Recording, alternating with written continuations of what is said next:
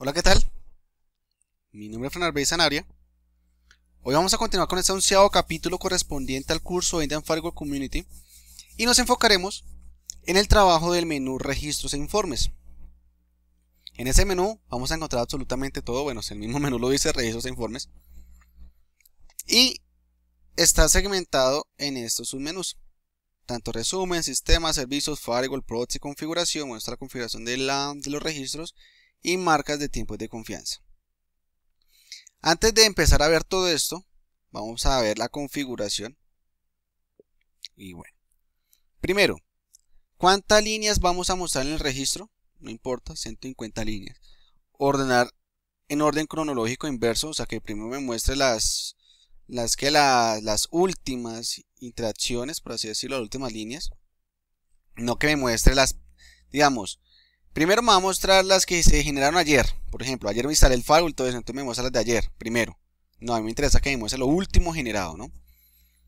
Guardar resúmenes por tantos días. Bueno, acá es delicado ese tema. Depende del disco duro. Depende de la memoria RAM también. Y la caché.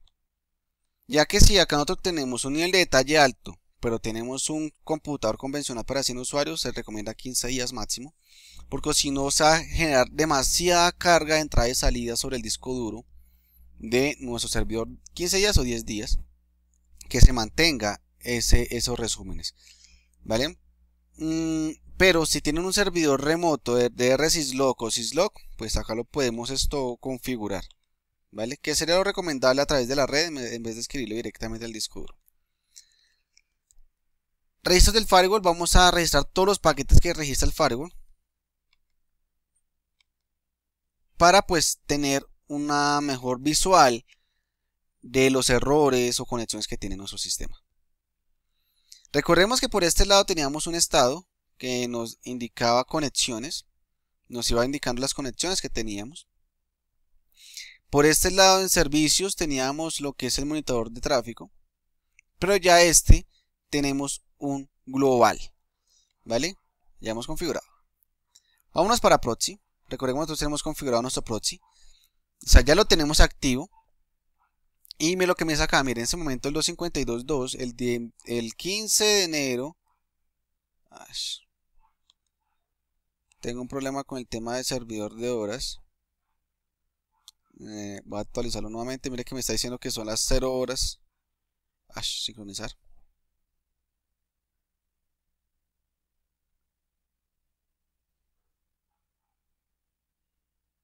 Listo, ahora sí. Otra registro de informes. Bueno, los logs que están en este momento, mire que se van a mantener, porque ya fueron escritos, ¿no? No se van a sobreescribir, ojo, no se van a sobreescribir, se van a generar otras líneas extras. Vamos a visitar una página, vamos a visitar esto en beta, que es la que más visito en realidad, para leer noticias, lo mismo que hipertextual, sí,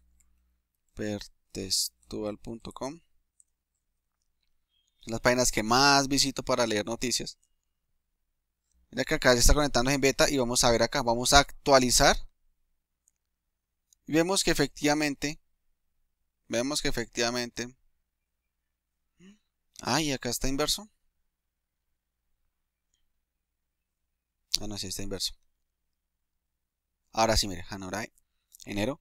Me dice que me dice, se conectó a esta página y se conectó a esta página. ¿Ven? Y obviamente, si tiene un número de usuario, pues acá se va a evidenciar, ¿no? Si está autenticado a nivel de usuario. Mira que acá este estaba utilizando Frank Sanabria, ¿cierto? Cuando estábamos utilizando proxy no transparente, ¿sí ven? Acá me dice qué usuario, porque puede ser la IP, pero el usuario el que esté conectándose de otro lado, ¿no? Este momento, como está a nivel de autenticación, no está utilizando otra vez de proxy transparente, pues no me muestra nada. Podemos generar filtros, digamos que a mí me interesa solamente mostrar la Gigan en beta y digo actualización. Y vemos que efectivamente solamente demuestra el contenido en beta. Lo mismo, desde qué IPs se genera ese filtro. Entonces acá me dice, lo que me interesa es de la 98. Vamos a actualizar. Y evidenciamos qué conexiones y cuándo ha realizado la conexión esa persona. ¿Listo? Mm, ¿Qué podemos filtrar? Digamos que podemos decir que, digamos, podemos filtrar todo por, por la IP más pero necesito que se me, ignore lo que sea hagámoslo con esta.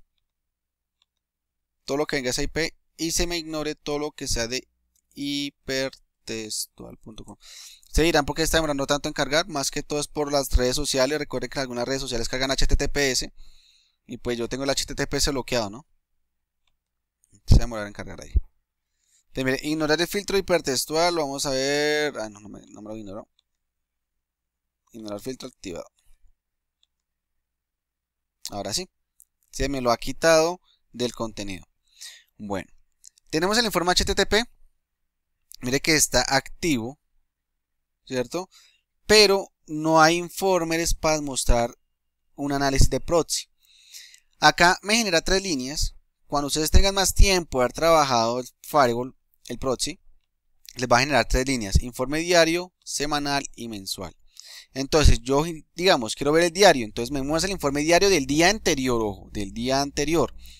Entonces, yo cojo acá, ingreso, y él me dice, bueno, es el informe diario. ¿Por qué lo quiere? Por IPs de ese día, por IPs, por dominios, etc. Entonces, yo acá solamente ingreso y pues podría ver dicho informe diario. ¿Listo? Como no he tenido el próximo prendido por más de un día, pues obviamente no me va a mostrar absolutamente nada, ¿no? Y el proxy SMTP, acá vemos las diferentes logs que se me hayan generado para el proxy SMTP. Firewall. Lo mismo, me dice cuáles son las conexiones, lo mismo yo puedo hacer filtros, eh, etcétera, yo puedo ver qué ha pasado, puedo ver una IP de dirección de origen, y me, me intenta hacer un juiz, ¿sí? ¿se dan cuenta ahí? Con la IP destino, lo mismo es un juiz. El puerto, él me consulta el tipo de puerto que está realizando la conexión en una base de datos de la, de la ISC. Creo que HTTPS. Vamos a habilitar HTTPS porque, mire, este puerto destino 443. Voy a habilitarlo. Aplicamos.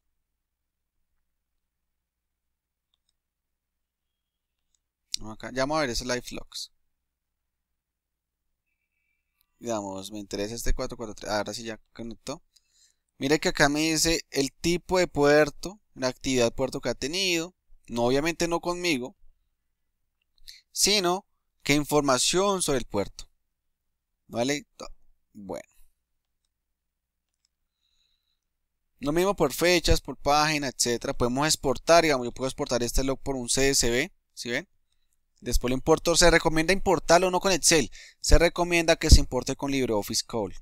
¿Vale? ¿Qué me ha pasado con Excel? A veces no reconoce bien los, las comas, no hace bien la separación, es un fastidio, entonces recomiendo que utilicen Call. Servicios, acá tenemos el IDS, digamos acá podemos ver que bueno, este IDS, ah, este es un juicio, eh, démoslo atrás. Este IDS me dice, ven, esto en enero 13, señor esta consulta, se, llama prioridad 3, tiene un tipo de mix activity, actividad de descubrimiento, vamos a ver. Ah, ya no está enlazando bien. Bueno. Y él normalmente con un le da acá es el identificador de la actividad. ¿Vale? Entonces, normalmente cuando son de nivel de prioridad 3 para abajo es relativamente ignorable. Pero si encontramos un nivel de prioridad mucho más alto, pues obviamente nosotros así donde definimos qué hacer con, ese, con esa falla o con ese ataque, con ese escaneo, etc. Aquí el resto son pings, ¿sí ven? O sea, no tienen mucha importancia ese tipo de, de tráfico que me está detectando el IDS. Acá tenemos activa el OpenVPN, las últimas conexiones, también la podemos ver por acá, por acá de pronto vamos a encontrar el de Frank Sanabria.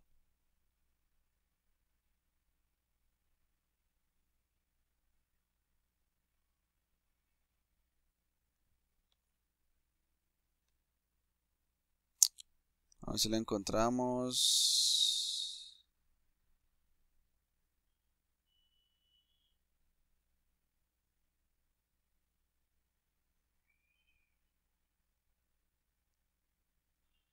Eh, en algún lado de estar. Tan, tan, tan. Acá reinicia el VPN. Acá. Era hacer el filtro. Míralo acá. Y acá me dice cuál fue la IP que me dio, etcétera, ¿no? La tenemos. Lo mismo filtro lo podemos hacer acá. Bueno, ese prefiero de hecho desde acá desde un principio. Y vemos que efectivamente acá hubo un usuario conectado a esta hora. ¿Listo? Bueno.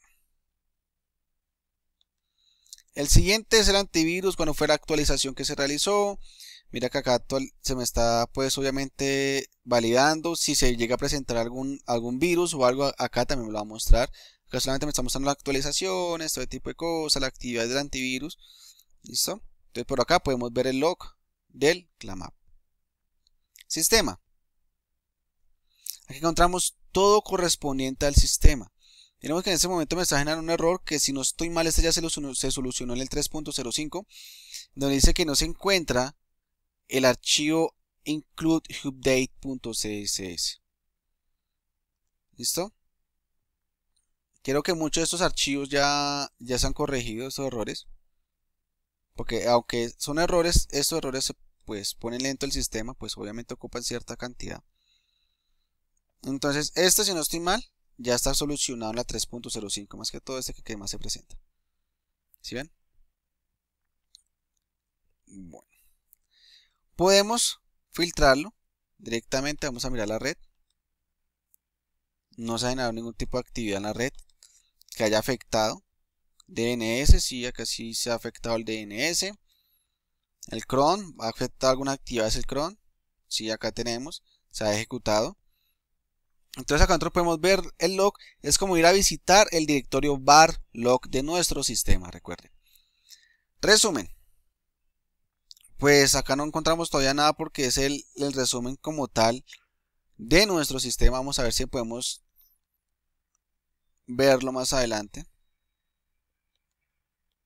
Vamos a ver qué día, digamos, ayer, el 12. 12 no hice video, el 10, creo que el 10 tampoco. No, no me lo arroja.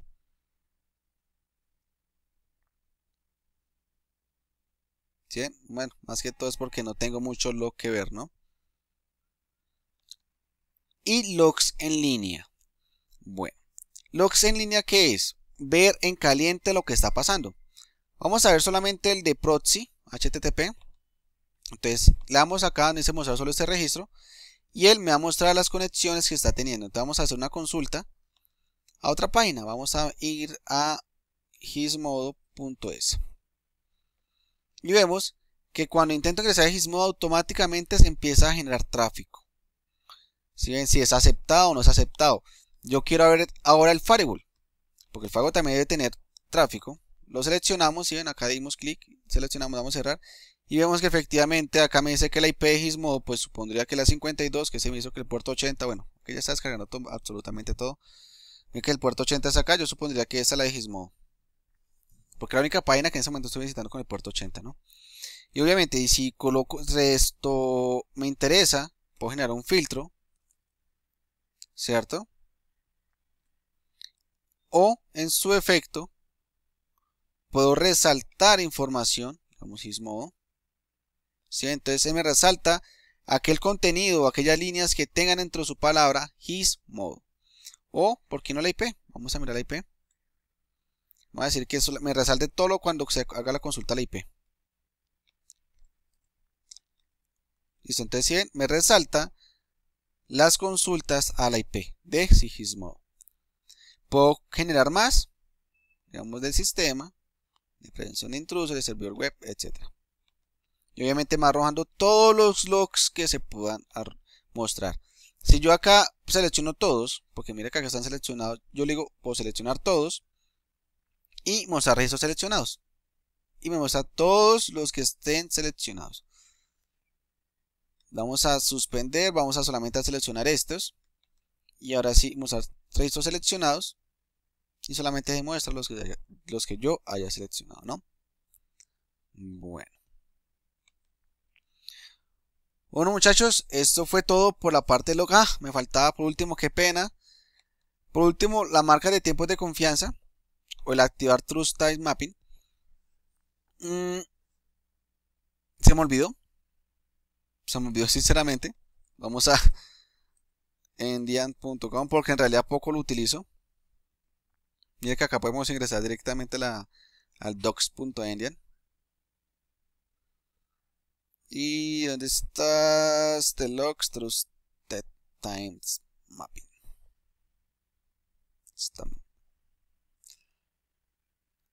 Bueno, dice el Trusted Time Stamping, stamping sí, es un proceso que mm, hace que los archivos de log, pero en general cualquier documento, dentro de un orden de, mm, bueno, ta ta ta ta ta, funciona,